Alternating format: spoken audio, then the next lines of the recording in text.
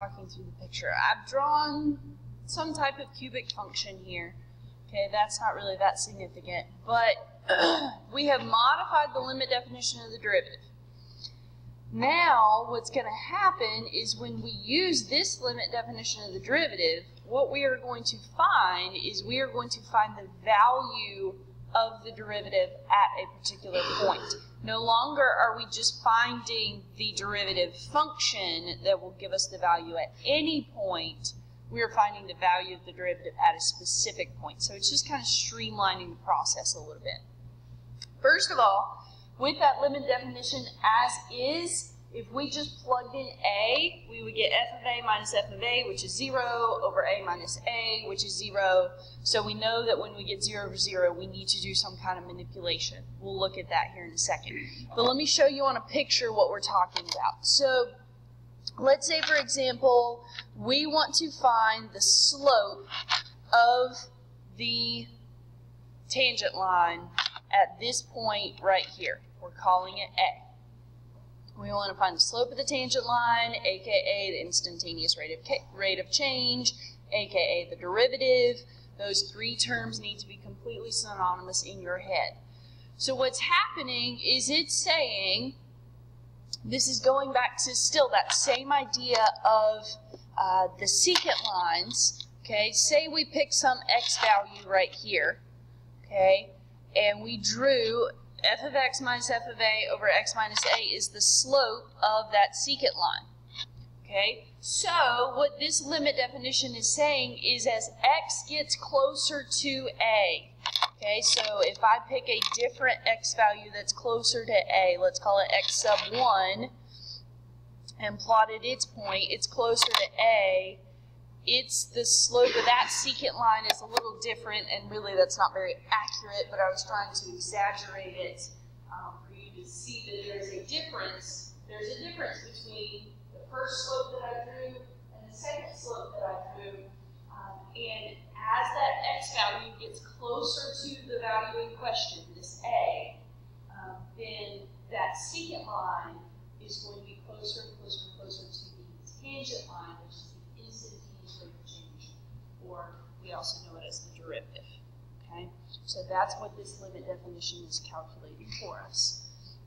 So let's look at an example. Okay, um, I wouldn't necessarily write out this entire sentence of instructions. Just say find the average rate of change, um, and then the instantaneous rate of change at the endpoints.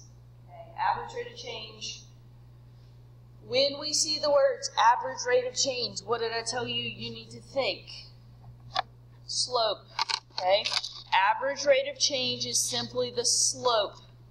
That's what you should think automatically in your head when you're asked to find the average rate of change. You should think slope. I'm finding the slope between two points. Then when you see the words instantaneous rate of change, you should think derivative.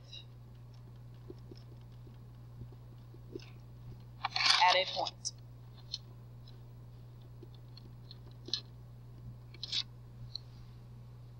Okay, so of our function here, we've got a square root function, the square root of 4x minus 7, and our interval is from 5 to 11 halves. 11 halves is what, 5.5? So pretty short interval. We're going from 5 to 5.5. Let's start with the average rate of change. Okay, that is the slope. Um, and we can abbreviate it AROC, okay, average rate of change. We want to do x1, x2, a, b, however you want to do it, it really doesn't matter. Um, but you plug in the numbers, so we've got the square root of 4 times 11 halves minus 7 minus the square root of 4 times 5 minus 7 all over 11 halves minus 5. Average rate of change is simply our slope. Now, 4 times 11 halves is 22. Okay, the 4 over the 2 simplifies to 2. 2 times 11 is 22. So we've got uh, 22 minus 7, what, 15? Minus uh, 20 minus 7 is 13 over 1 half. 11 halves is 5.5, so we've got 1 half on the bottom. Now, unfortunately, those are not nice, pretty, perfect squares, so we're going to have to use, well, I'm going to use my calculator, okay? Um, all I did was we were dividing by 1 half, so flip and multiply by the reciprocal. That's 2 times the square root of 15 minus the square root of 13, and no, that is not equivalent to the square root of 2. Okay, remember when we did radicals, you cannot combine radicals unless uh, they are the same number under the square root. Okay, uh, multiply that by 2. So the average rate of change for this function over this interval is approximately 0.534. Yes, I realize that that 8 rounds up the 4, uh, but anytime on the AP exam, you truncate, okay? You write the first three numbers after the decimal, and then you just stop writing. Don't worry about rounding, okay? They will count off if you round incorrectly, so just write the first three numbers after the decimal place, okay? At least. Technically, you can write more, but that's all that they require. All right, so that is the average rate of change over this interval. If we picked a different interval, it'd be a different number, okay? We're good with that. Yes? It's just y2 minus y1. Well, hang on, let me write it like this. Average rate of change is f of x2 minus f of x1 over x2 minus x1. So Just our slope formula. Yes, those are the x values.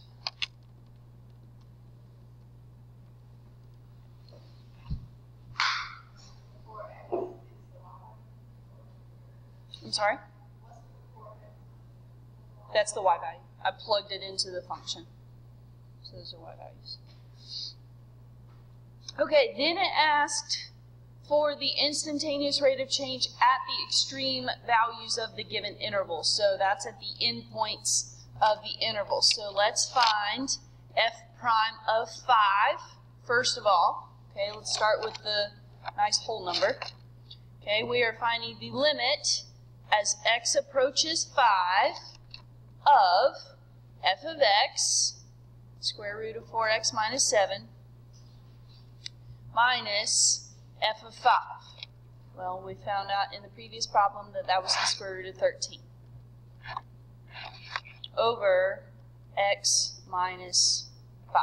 That's just coming directly from our limit definition that we just wrote down for the uh, derivative at a point, f of x minus f of a over x minus a, a being 5 in this case. Now, if we plug in 5 right here, we're going to get 0 over 0. So what do we have to do when we've got um, these radicals? We've got to multiply by the conjugate. Okay, uh, obviously I don't have room to show that, but what's going to happen in the top, the square roots are going to cancel, and we're going to have 4x minus 7 minus 13 over x minus 5 times the square root of 4x minus 7 plus the square root of 13. Remember, we don't multiply that out. We leave it as it is.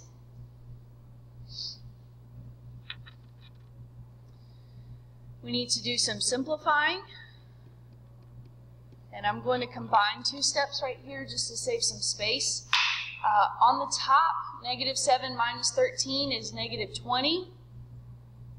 So we have 4x minus 20. Well, we're used to that canceling with what's in the bottom, but it's not exactly what we have in the bottom because we can uh, factor out a 4.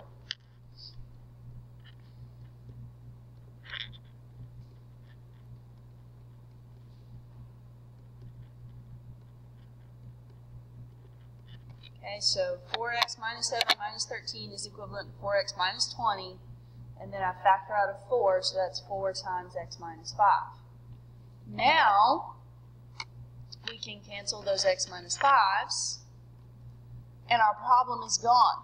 Okay, the issue that we had before is gone. Now we are going to be able to plug in uh, 5, and I'm going to go ahead and do that. We've got 4 over the square root of, uh, well, 4 times 5 is 20, minus 7 is 13. So we've got square root of 13 plus square root of 13. That's 2 square roots of 13. And 4 over 2 is 2. So we've got 2 over the square root of 13. That's the exact value. I would like to compare it to the average rate of change. So I'm going to see what the calculator says the equivalent decimal value is. And it is approximately 0.554. So pretty close. Two one hundredths um, difference.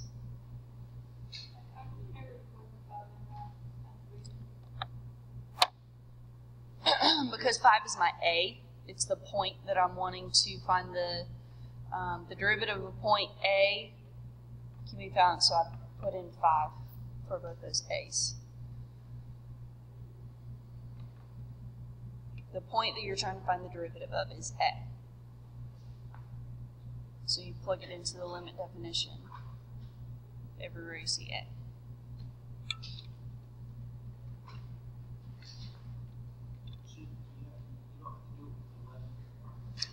I just haven't done it yet. Okay, um, so just for practice, okay, I want you all to